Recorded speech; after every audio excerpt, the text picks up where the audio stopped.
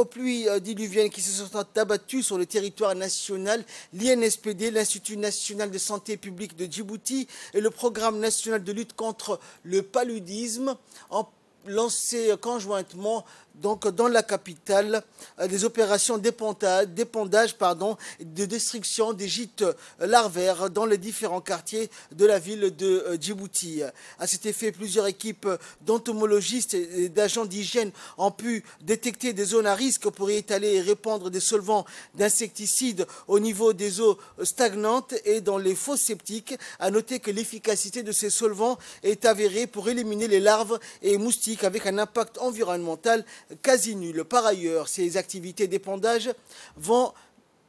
de pair avec des interventions de brigades mobiles de pulvérisation spatiale qui emploient les moyens adéquats afin de stopper les proliférations des euh, moustiques.